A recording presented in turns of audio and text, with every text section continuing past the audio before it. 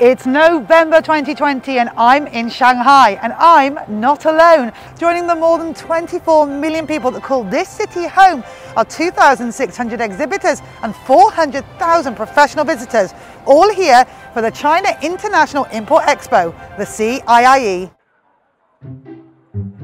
The Expo, which is in its third year and began November the 5th, features at its heart a huge exposition space spanning 360,000 square metres, bringing together businesses, innovators, buyers, and officials who meet, negotiate, and ink contracts to bring new goods and services to the Chinese market.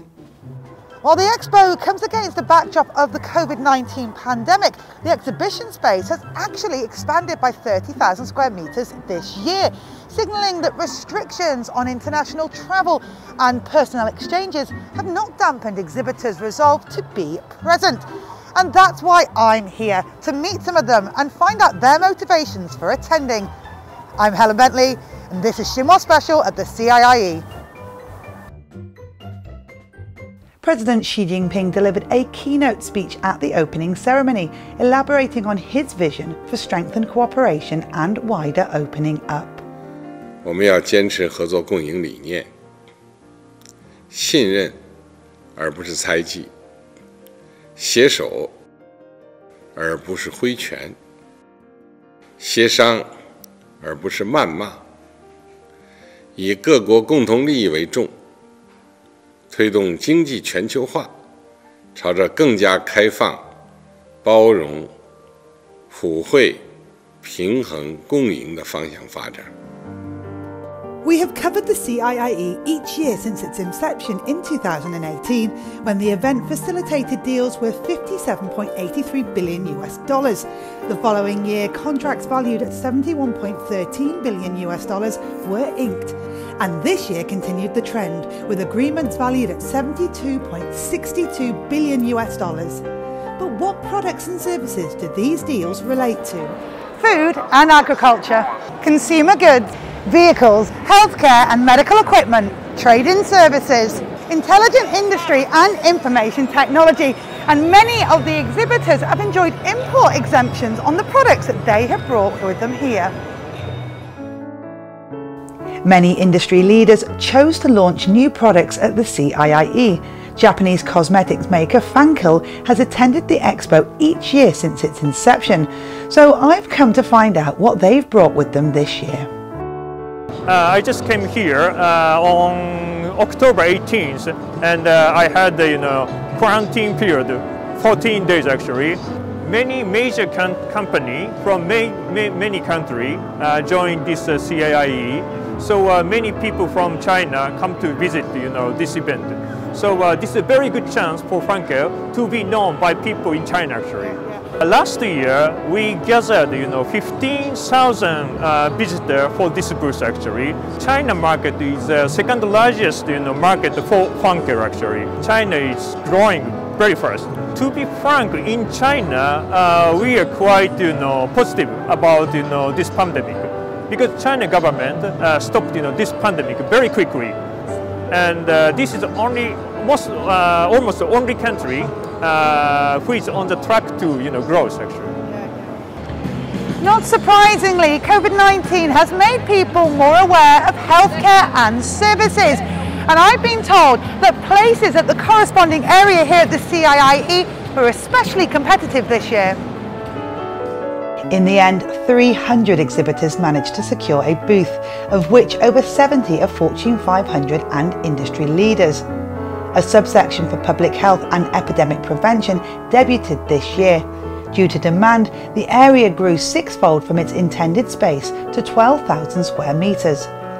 Another sign of confidence in the growth of this area is the fact that a number of pharmaceutical giants have signed on to participate in the CIIE for the next three years.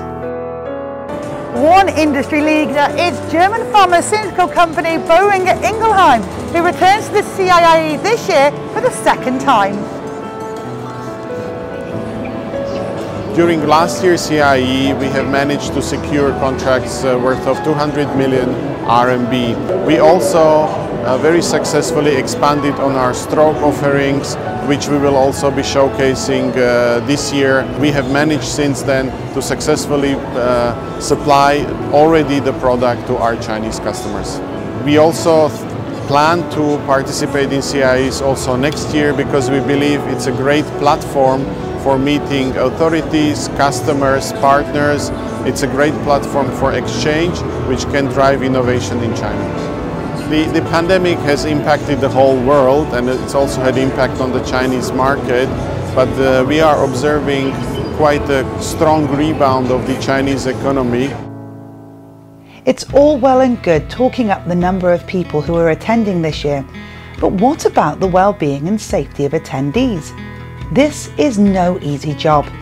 All participants must test negative for COVID-19, the venue is disinfected regularly and food and exhibited items are also monitored and tested. Added to this, and to support participation, some signing ceremonies and roadshows have been moved online.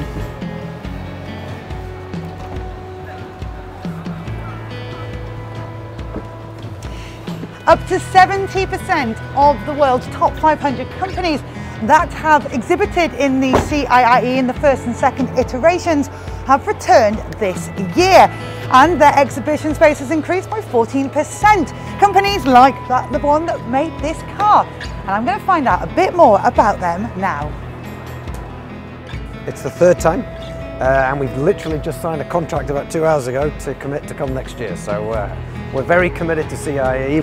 It's sort of a, a, a platform that allows you to turn exhibits very quickly into goods and uh, products for Chinese consumers extremely quickly. So it's, uh, it's a great platform. So the, the, the, breadth of products and produce that's here shows you that it's a way to link to the outside world. And I am pretty confident that a lot of companies after this will make plans to import their produce and their goods here. So uh, it's a very live and dynamic research into what people think. So consumer confidence is growing and we are extremely confident about the rest of Q4. And we're also pretty confident about next year. The IMF predicts that the global economy will contract by 4.4% in 2020, and China will be the only major economy to post positive growth. Being the world's second largest importer, China has in recent years lowered tariffs on multiple occasions, expanded imports, continuously increased the number of its free trade zones to 21, and upgraded Hainan Free Trade Zone to a free trade port. 下一步 中国将秉持开放、合作、团结、共赢的信念，坚定不移全面扩大开放，将更有效率地实现内外市场联通、要素资源共享，让中国市场成为世界的市场、共享的市场、大家的市场，为国际社会。注入更多正能量。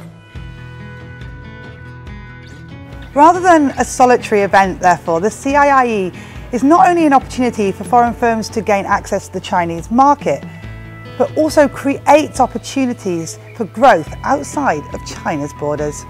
I'll see you next time.